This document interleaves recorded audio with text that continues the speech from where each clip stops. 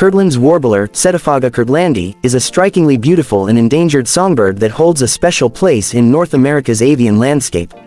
Adult male Kirtland's warblers are known for their striking appearance, featuring bright yellow plumage adorned with distinct black streaks on their back and sides, a bluish-gray crown, and a captivating white eye ring.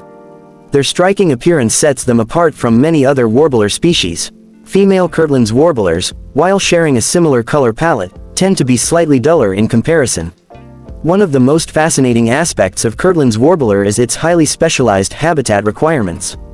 These birds are particularly selective when it comes to their nesting grounds, favoring large stands of young jack pine trees, typically aged between 5 to 20 years. The dense cover provided by these young pines is crucial for protecting their nests from potential predators, highlighting the warbler's unique nesting behavior.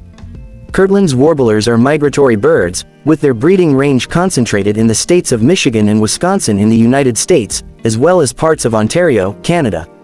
During the winter months, they embark on a remarkable journey to their wintering grounds in the Bahamas and the Turks and Caicos Islands, making their conservation a transcontinental effort.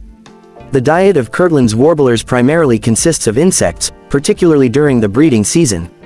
They forage within the lower branches of pine trees, where they search for insects and spiders. This insect-focused diet is essential for raising their young and maintaining their energy levels throughout the demanding breeding season.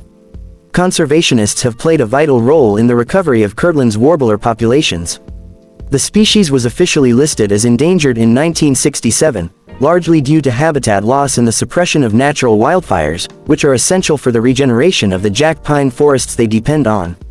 However, through a combination of habitat management, controlled burns, and nest protection efforts, the population of Kirtland's warblers has shown significant signs of recovery in recent years.